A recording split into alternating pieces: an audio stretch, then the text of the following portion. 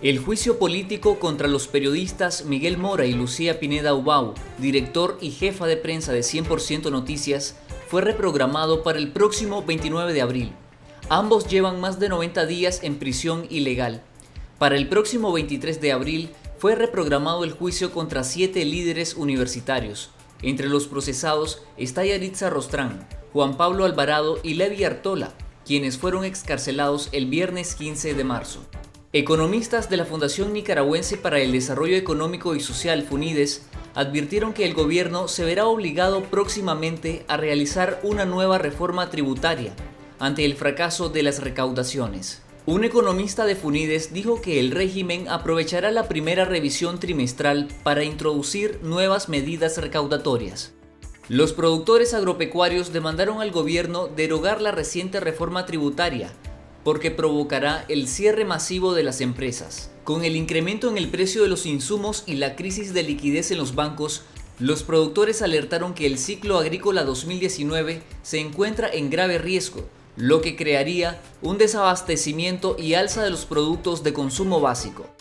El problema que nosotros vemos es que le va a significar al pueblo, al consumidor final, va a tener que pagar por el incremento de precio, por incremento de costos, alrededor entre 450 y 500 millones de dólares. El mayor afectado es el consumidor final. El asesor de Seguridad Nacional de Estados Unidos, John Bolton, dijo que la nacionalización del banco corporativo Bancorp no les permitirá al gobierno de Nicaragua evadir las sanciones de Estados Unidos. Bancorp funciona principalmente como brazo financiero de Alba de Nicaragua empresa creada para privatizar la cooperación venezolana. El economista Néstor Avendaño alertó que entre enero y febrero de 2019 salieron unos 120 millones de dólares del sistema financiero nacional. Datos de la Superintendencia de Bancos muestran que, sumando ambas monedas, en enero salió un monto equivalente a 80 millones de dólares y otros 42 millones en febrero.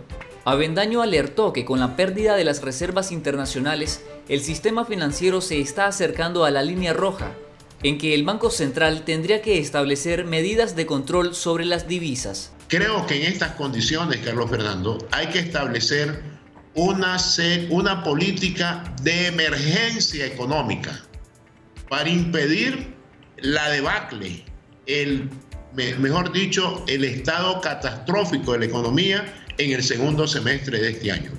Los camiones de carga conducidos por nicaragüenses no pueden ingresar a Costa Rica, luego que el costarricense sindicato de traileros decidiera impedir su paso por el puesto fronterizo de Peñas Blancas.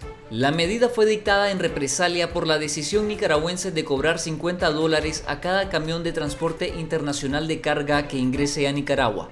El chavismo aumentó la presión contra la oposición de Venezuela, guardias bolivarianos arrestaron a Roberto Marrero, principal colaborador del presidente interino Juan Guaidó. El chavismo acusó sin pruebas a Marrero de liderar una célula terrorista que planeaba realizar ataques selectivos. Guaidó afirmó que mantendrá su agenda de trabajo para sacar a Nicolás Maduro del poder. Un juzgado de Guatemala ordenó la captura contra la exfiscal general y aspirante a la presidencia, Telma Aldana, que se encuentra fuera del país.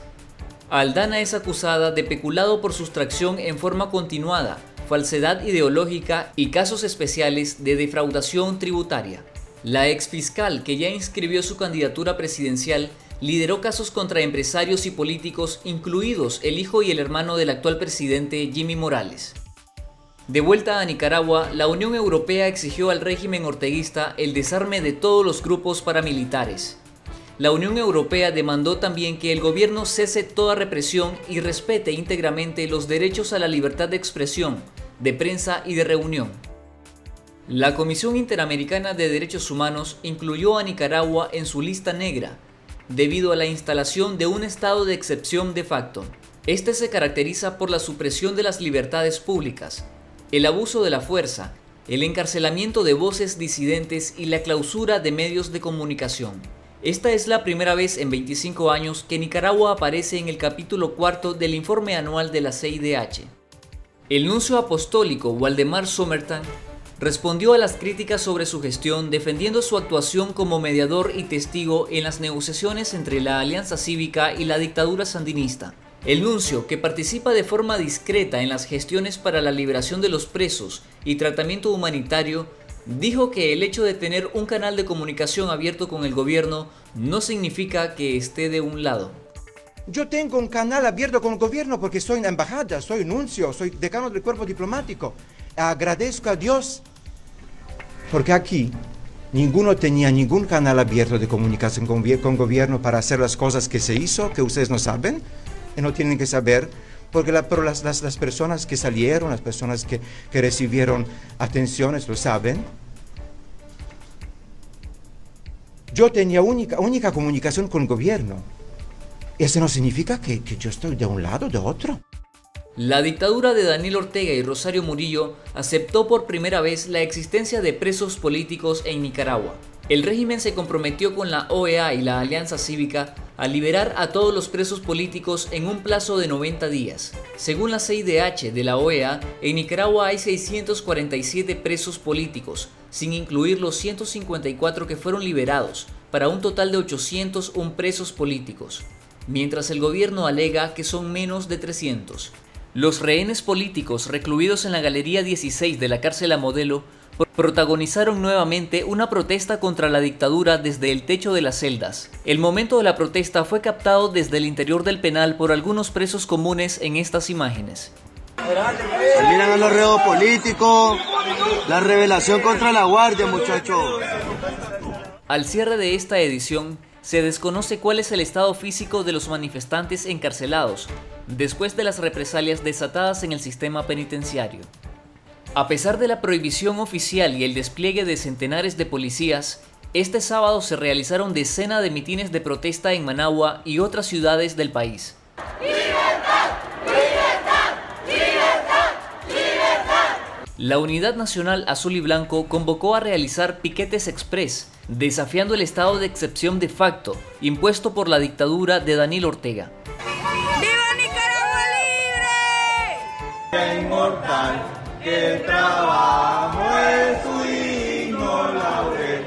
Los ciudadanos salieron a las calles y se reunieron en centros comerciales para demandar la liberación inmediata de todos los reos políticos y el restablecimiento de las libertades constitucionales.